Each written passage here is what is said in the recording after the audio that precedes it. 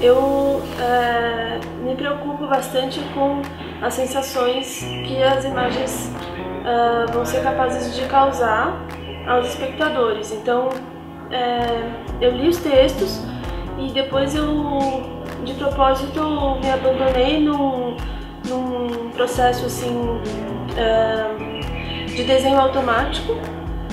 Hum, porque eu queria é, que esses desenhos fossem misteriosos, de certa forma até para mim, ou seja, eu queria controlar o mínimo possível o processo.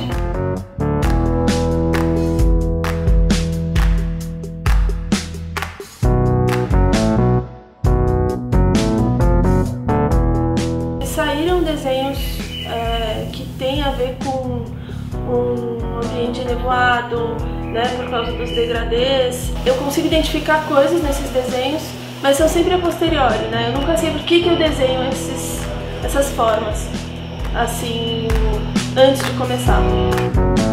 Eu achei que é, eu precisava conectar, voltar um pouco para o texto e conectar essas formas, esses, esses grafismos aí que tinham saído, uh, que vão dizer, estavam funcionando mais como ambientações eu tinha que conectar esses, esses desenhos que estavam funcionando como fundos a elementos vinculados mesmo aos textos.